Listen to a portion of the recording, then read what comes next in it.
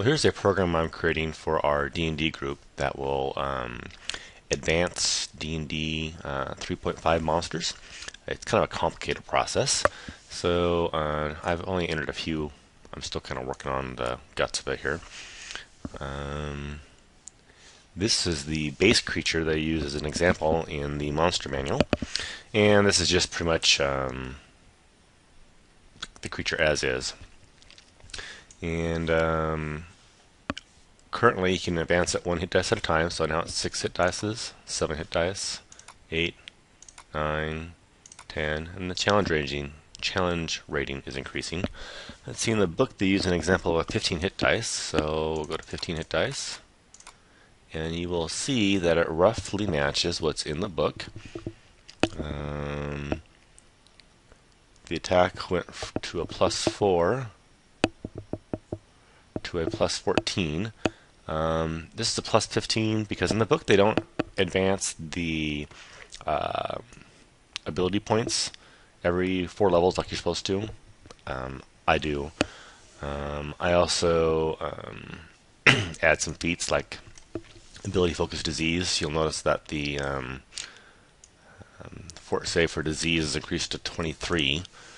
Um, it should be half a hit dice plus, oops,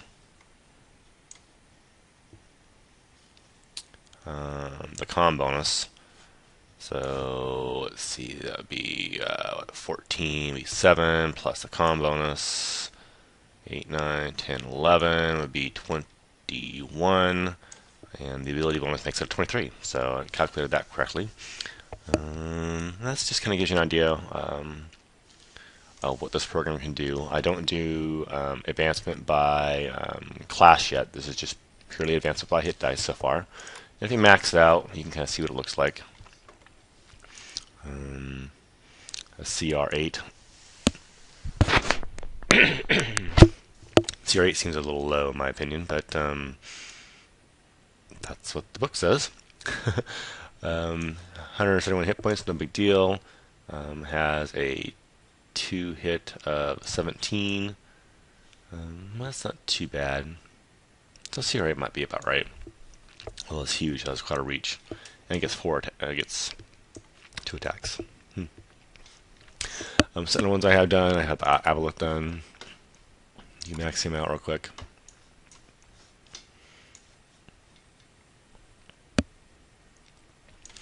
Uh, DC 33 Fort Save, that's a rough one.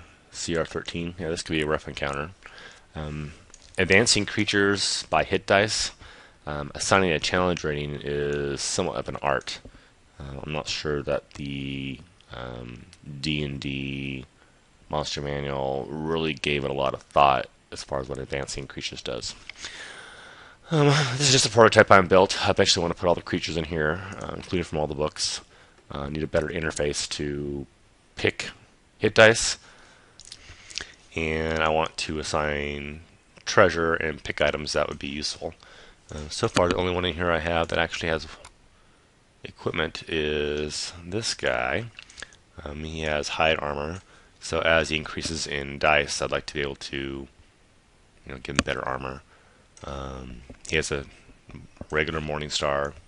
I can make it masterwork at some point.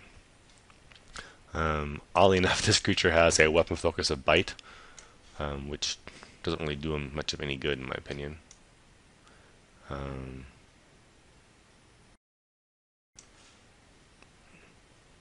I guess he could bite something. Uh, max him out. And this guy could be a monster. CR12. Um, plus 28 to hit. Or was it plus 24? That's still kind of a rough one. Uh, it's not too bad, I guess.